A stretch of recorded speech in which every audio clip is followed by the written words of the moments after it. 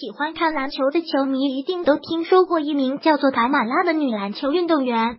可能是因为她确实太漂亮了，也可能是因为又有 NBA 球星对她表白。女篮球运动员本来就不多，像塔马拉这么漂亮的更是少之又少。说她是篮球界第一女神也毫不为过。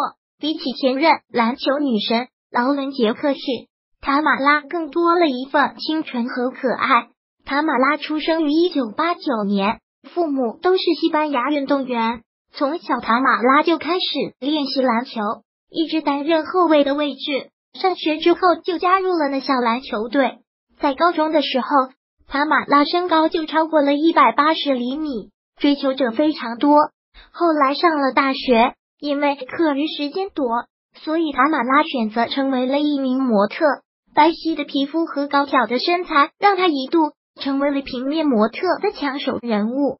不过，塔马拉的重心依然放在篮球上。明明可以靠脸吃饭，却偏偏要打球。十八岁进入大学的塔马拉，在拉马尔大学的 NCAA 打比赛。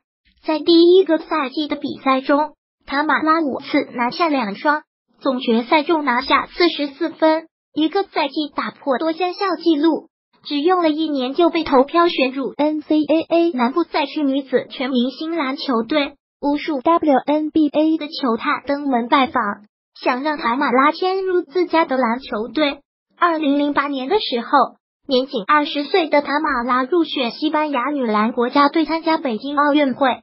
这个身高一百八十五厘米、体重七十二千克、颜值爆高的女球员一上场就吸引了无数球迷的目光。当时就有人说，如果要说谁可以征服整个 NBA，那非塔马拉莫属。二零一零年的时候，塔马拉和西班牙球员里基卢比奥交往了一段时间后分手，至今塔马拉再也没有传出过感情新闻。现在塔马拉已经三十岁了，依然还是单身一人。他对此表示还在寻找合适的对象，最后也希望塔马拉可以尽快找到自己的归宿。